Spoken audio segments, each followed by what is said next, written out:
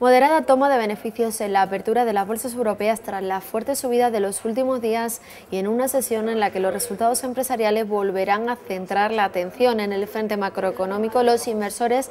deben estar atentos a la encuesta IFO en Alemania y a los pedidos de bienes duraderos en Estados Unidos. Si miramos al IBEX 35, nuestro selectivo superó ayer la resistencia de los 10.680 puntos, ahora soporte y ha llegado a un punto importante, los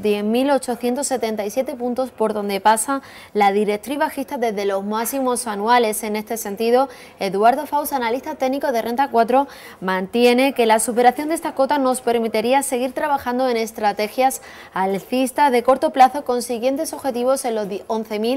11.100 puntos. No obstante, de momento debemos ser prudentes en este nivel tras las fuertes subidas de ayer y la pregunta obligada que se hacen todos los expertos es ¿qué comprar ahora? Luis Lorenzo, analista técnico de Deep Broker, apuesta por tres valores del mercado continuo español, entre ellos Centis, Celtia y Colonial. Sobre este último, el más interesante para este experto mantiene que tras casi dos meses en una dinámica de nuevos mínimos, después de alcanzar los 0,65 euros, parece estar haciendo suelo sobre los 0,55 euros e intentando romper la directriz bajista que indicaba desde los máximos de junio que lo que podríamos tener una reacción al alza hacia los máximos anuales.